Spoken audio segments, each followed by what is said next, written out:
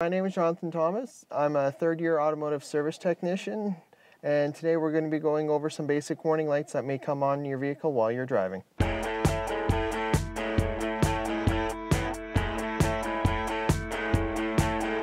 There's many reasons why the battery light could come on. You know, uh, your belt may have broke, a loose connection, a bad alternator.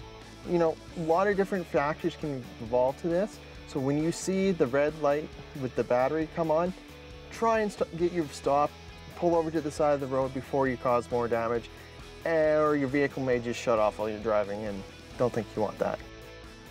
There's many reasons why your temperature coolant light may come on. You know, you may be low on coolant, um, you may be overheating, so there's a lot of different factors.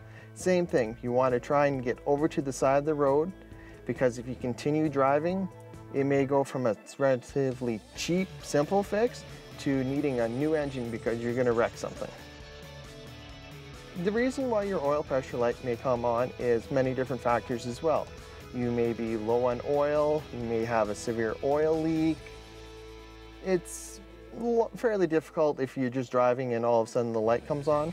Same thing, pull over, get to the side of the road, stop your vehicle, otherwise and shut it off.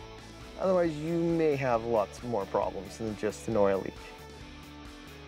There's many different reasons why your brake warning light may come on.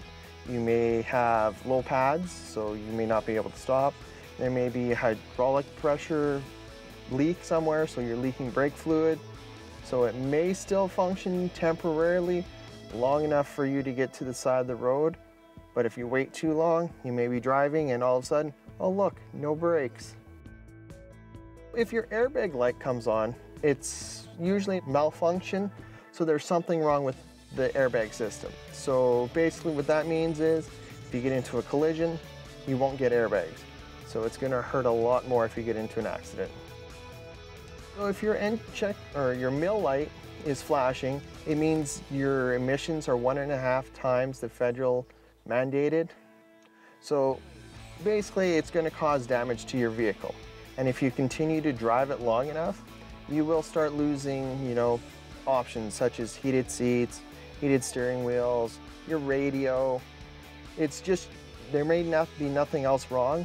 It's your vehicle trying to tell you, get me checked out before I cause more damage. Your service engine light comes on when you know it's time for basic maintenance such as an oil change, pre-program things in the computer that says yes you need to get this checked and updated and cleaned versus the MIL light it means something is wrong it needs repairs.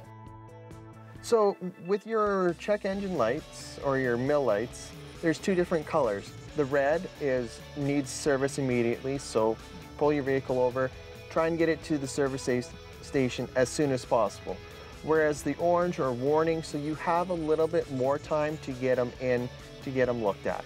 The looks of all your symbols are all pretty much generic throughout all vehicles. Just certain vehicles will have more, some will have less. All depends on what options you have in your vehicle.